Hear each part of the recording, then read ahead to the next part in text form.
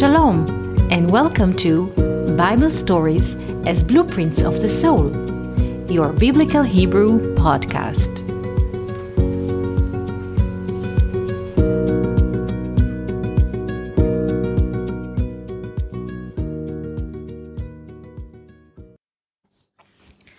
Shalom, and welcome to our Biblical Hebrew podcast. Today, I would like to speak to you about the third day of creation. In the third day of creation, we have a different picture of the divinity. Unlike the previous days, one day and second day, when God speaks and things are immediately reflected in reality, in the third day, we meet a new guest the earth. The earth did not exist in the previous day. Earth in Hebrew, Eretz. Eretz. Eretz is not just land, a ground, or a soil, but Eretz comes from Ratzon. Ratzon means in English will. Will. And as people say, when there is a will, there is a way. So in the third day, we meet the earth or the will. In the third day, God asks from the earth to bring forth fruit tree. In Hebrew, it's pri. But the earth intervene and reflects something completely different. The earth brings forth tree which makes fruit. In Hebrew, etz ose pri. What is the difference between fruit tree and tree which makes fruit? Let's look into the Hebrew terms and see what is the relation between fruit tree and tree which makes fruit and how the earth plays a giant role between those two. The Hebrew term for fruit tree is etz pri etz pri. The numeral value of etz pri is 450. If we take the zero from the equation, because zero is not a number, the value is 45, like the numeral value of Adam or human in English, or the divine spirit all of them are reflected in the number 45, 450, and so on. So God asks from the earth to take out, or from the will, to take out or bring forth human etz pri, or bring forth the divine spirit.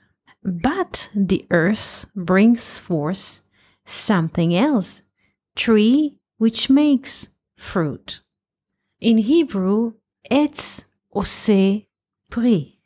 What is the difference between etz pri and etz ose pri? The verb ose in English makes.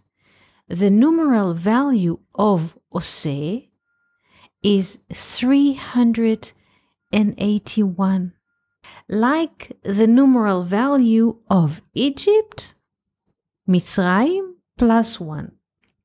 This is the difference between etz pri, fruit tree, and tree which makes fruit, the sense of Egypt in it, the sense of time, the sense of conflict, the sense of disagreement. Now, the question is why in the previous day, everything happens as planned. And in the third day, there is suddenly a distortion. And the answer is simple because in the third day, we meet the earth, Eretz, or Ratzon, which is a will.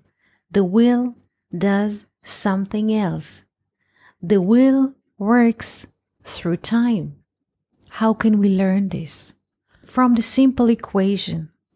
The distance between etz pri, fruit tree, and tree which makes fruit is the word makes. In Hebrew, ose, which has the numeral value of 381. The numeral value of the word earth in Hebrew eretz is 291.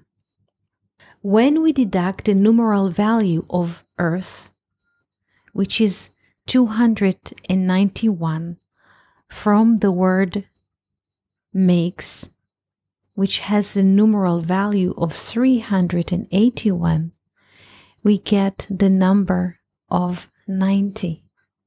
90 is the numeral value of the word water in Hebrew, maim, which refers to the time element in our lives. When God asks to make a fruit tree, esprit, he means that the potential and the actualization are one. They're one thing. This is what he's asking from the earth to bring forth. That the origin or the source and the actualization will appear at once. But the earth, in Hebrew Eretz, also contains the letters Tzadi Resh, which means in Hebrew Tsar, narrow, and our earthly will is narrow as well. And we cannot picture divinity as it appears beyond time and space. In order to catch divinity, we need to have a sense of time, a sense of development. This is why once the divine speech meets the narrow will of mortal, it has to be fragmented. We cannot perceive something which is beyond time and space. We can only perceive pictures which are fragmented to us. We cannot see a complete picture. Fish, they have a different lens. They can see something complete. The fish in us can see something complete, but we are not capable of doing this. Ancient lore says that the first human in the Garden of Eden could see the world from end to end, meaning Adam Arishon, first human, had a completely full picture of reality. He had the circle perspective from end to end. But after he ate from the tree of knowledge, he could see the world, he could see the world from age to age. מקצה el קצה. Katse, katse in Hebrew is written with three letters. The stem letters are two, kof and tzadik, ketz, which has the numeral value of 190. So, mikatse, ad katse, from edge to edge, is 380, meaning Egypt after Adam ate from the tree of knowledge, he could only see conflicts and troubles. This was our little conversation for today. We wish you beautiful day and wonderful week. Thank you for listening to Bible stories as blueprints of the soul. We hope that you enjoyed this episode.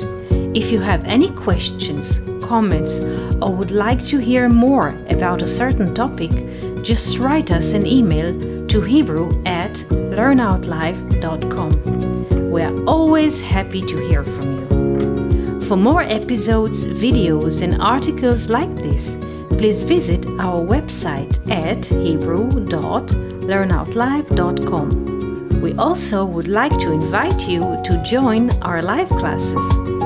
Just search for Online College of Biblical Hebrew on Facebook and start learning now with students from all over the world. Kol Tuv and Shalom.